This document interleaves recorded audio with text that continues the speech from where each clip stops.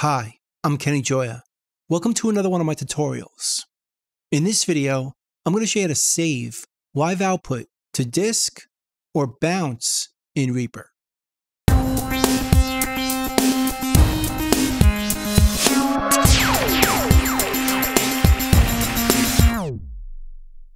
have a project in front of me here with some music and some voiceover. And I want to bounce this down to a stereo file. Normally, we go up here to the File menu and we choose Render. We'd set it up to be stereo, choose the file type, and so on. But if we want to move our faders and create a rough mix or do any moves on the fly, we can't do that while we render it. We have to use a different method. And luckily, there is. And it's called Save Live Output to Disk or Bounce. So instead, we'll go to the File menu and choose Save Live Output to Disk or Bounce, which we could also trigger with a keyboard shortcut right here. And that's going to open up this dialog instead, which is kind of similar. We could decide where we want to put the file by browsing.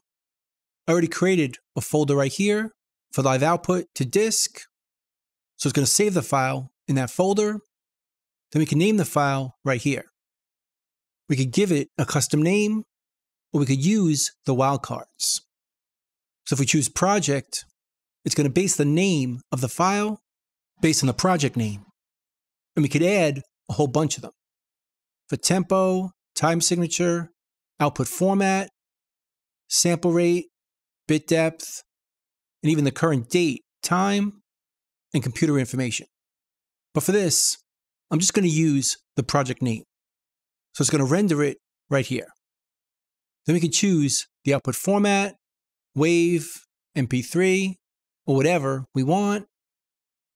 I'm going to choose stereo. We could do mono or multi-channel.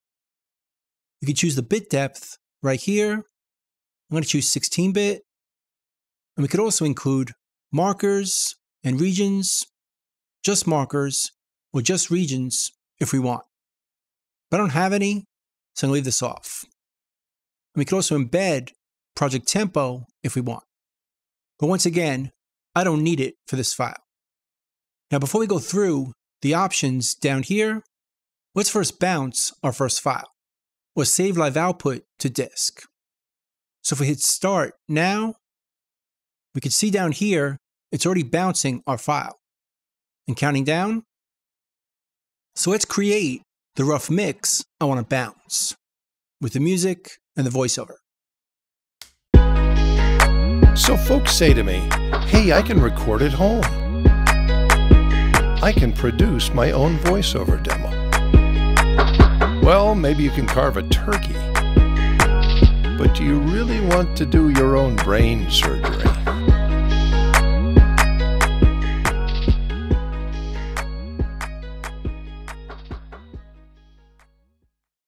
And then we faded it out at the end.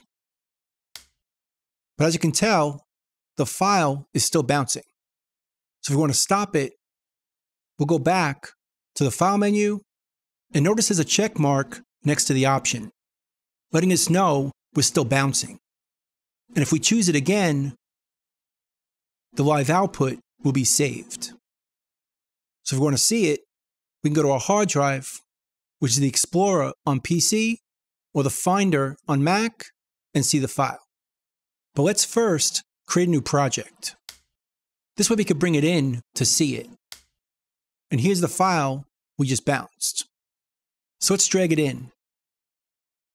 As you can see, there's a lot of blank space in the beginning because it started bouncing right away. And here's the mix we made. So folks say to me, hey, I can record it. And it faded out at the end.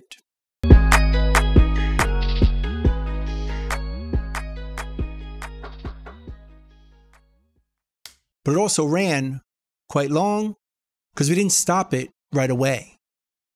So let's check out some other options that'll make this cleaner. So let's go back to that dialog, but this time we'll use the keyboard shortcut, which on the PC is Alt Control and B, and on the Mac is Option Command and B. So let's check out the other options down here. If we choose this, it's going to save output only while playing or recording. So let's bounce it again. Now by default, it's going to overwrite the first bounce because it has the same name. So let's choose the option over here, which is going to increment the file names, which is going to avoid overwriting. So let's bounce it now. And if we go down here, we notice it's not recording to the file because the timer isn't moving.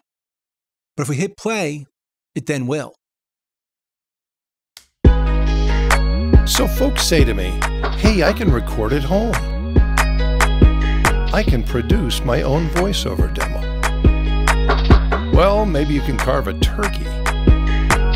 But do you really want to do your own brain surgery?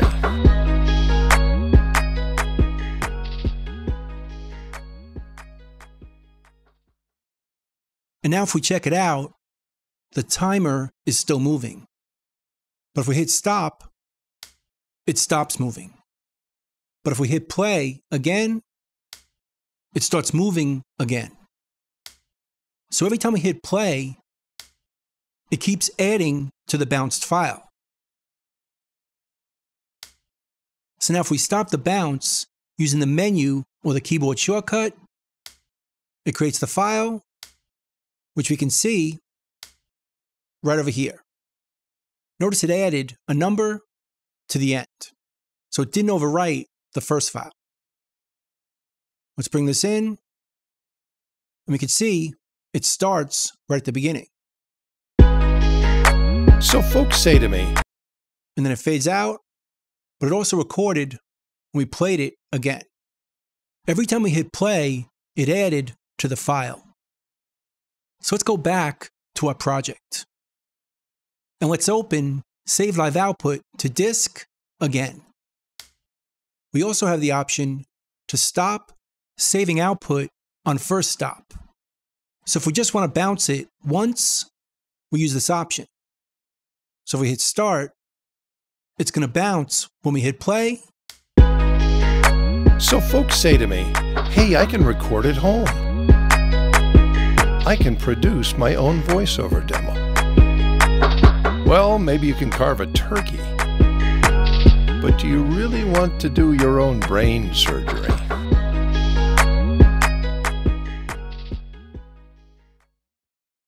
And now if we hit stop, it stops playing and it stops the bounce. So we don't have to manually stop it. And here's the file. If we bring it in, it started bouncing from the beginning. And when we hit stop, it stopped the transport and it stopped the bounce, creating a new file on stop. And we could also not save it when the sound is below a certain level. It defaults to 60 dB over two seconds.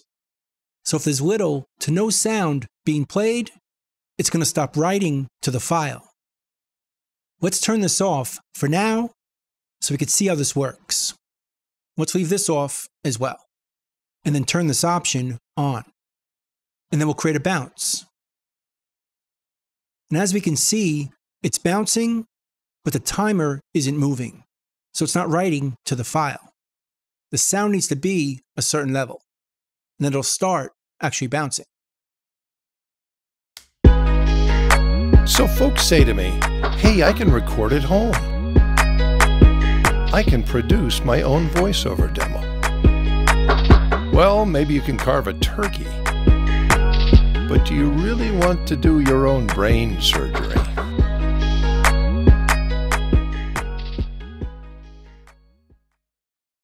And when the file gets below that threshold, it stops writing to the file, even though it's still playing.